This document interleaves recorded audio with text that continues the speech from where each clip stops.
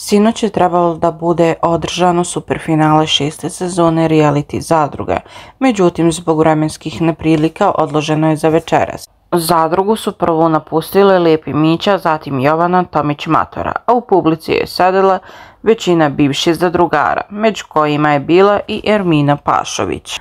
Baš u vrijeme kada je finale počelo, diskvalifikovana Anđela Đuričić se oglasila na svom Instagramu i na storiju podijelila snimak Ermininog gostovanja od prethodnog dana, kada je bila u studiju kod Dušici Jakovljević i obrušila se na Anu Ćurčić.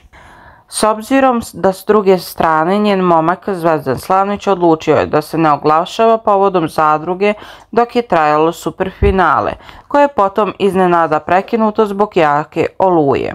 Iako Ana i dalje važi za jednog od glavnih favorita, Ermina je tada žestoko oplela prema njoj. A e, da se Anđela složila sa svim što je Pašovićeva iznela, dovoljno govori činjenica da ju je objavila na svoj story.